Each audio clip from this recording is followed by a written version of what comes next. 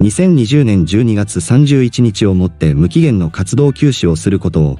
2019年1月27日に突然発表し世間を驚かせた国民的アイドルグループ嵐。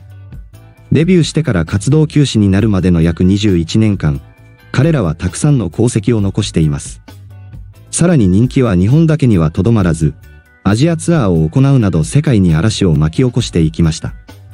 また、彼らは日本一チケットが取れないアーティストと言われ、ファンクラブの会員であろうとコンサートチケットは簡単に入手できませんでした。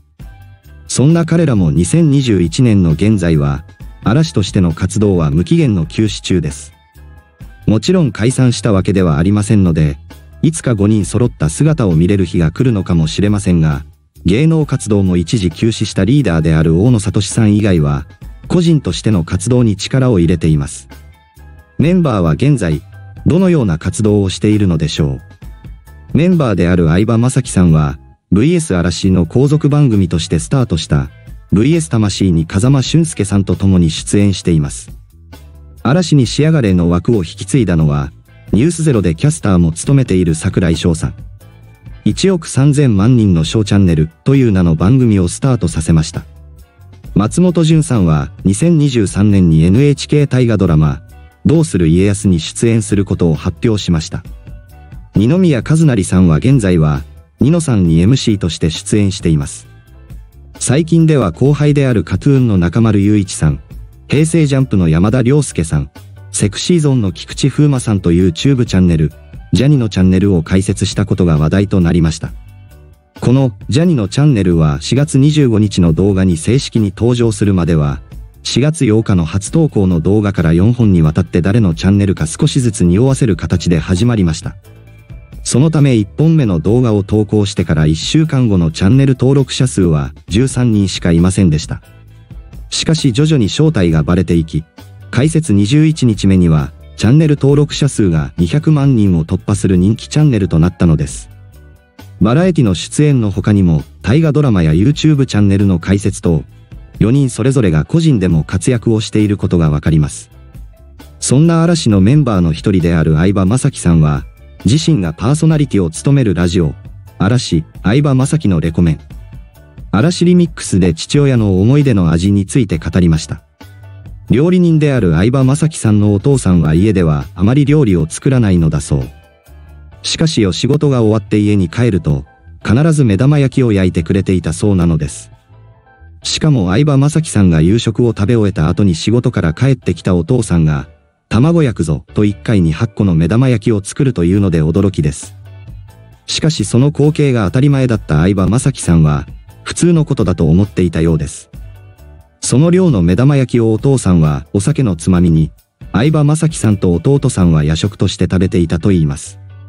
その様子をお母さんはちょっと引きながら見ていたと、子供の頃の思い出を語っていました。ファンの間では有名な話ですが、実は相葉雅紀さんのご実家は中華料理屋さん。千葉県幕張本郷駅から徒歩5分ほどのところにあるチャイナハウスケーカローというお店でかなり人気なため、行列ができることもあると言います。そんな相葉家はたくさんの面白いエピソードで、昔からファンを楽しませてくれました。相葉雅紀さんのお母さんは基本的にお酒は強くないそう。酔っ払った時にちょっとトイレ入ってくるってトイレに入って吐こうとした際に、ウォシュレットのボタンを押してしまい、顔面に水を浴びてたというエピソードがあるのです。しかも酔っ払っているせいか止められずに、ひたすらウォシュレットを浴び続けていたというのです。心配した相葉雅紀さんがトイレに向かった際に目撃したらしく、その姿を見た時はかなり驚いたことでしょう。関ジャニエイトの横山優さんが後輩などと共に、元旦に相葉雅紀さんの家に行ったことがあり、その時の相葉雅紀さんの母の様子を、メレンゲの気持ちで話していました。ジュニア時代はよく相葉雅紀さんの家に泊まってたという横山優さんですが、その時は18年ぶりに相葉雅紀さんのお母さんと会ったそう。みんなが集まったことに嬉しさを隠せられないお母さん。